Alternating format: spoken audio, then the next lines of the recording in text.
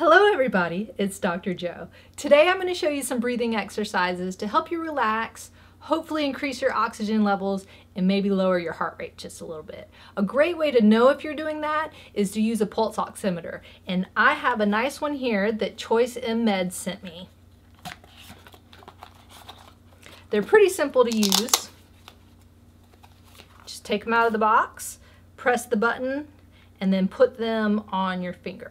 So to help you get some deep breathing will increase your oxygen level. So what I like to do is breathe in through your nose for about five seconds and then breathe out through your mouth for seven seconds. So you're actually blowing out more than you breathe in. So that's, that's getting some in and then getting all the bad stuff out. So you're just going in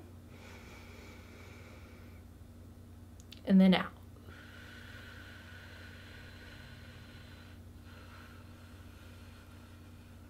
Seven. And so as you can see, my oxygen level is going up. It's at about 99%. Pretty high heart rate right now because I'm talking a lot. But as I go, it'll start to lower a little bit more. So one more time, breathing in through your nose for five seconds. And then out through your mouth.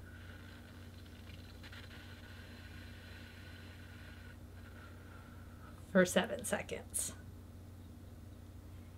And if you do that for about two or three minutes, that will help relax you a little bit, de-stress you, increase those oxygen levels, which will give you a little more energy, and then lower that heart rate, which will calm you as well. So one last time, five seconds in through the nose.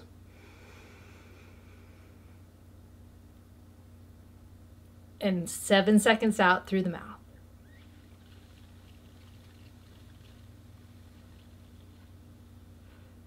I know you feel calmer already.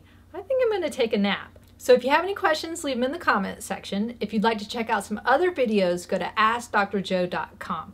If you're interested in purchasing the product, go to AskDoctorJo.com slash products.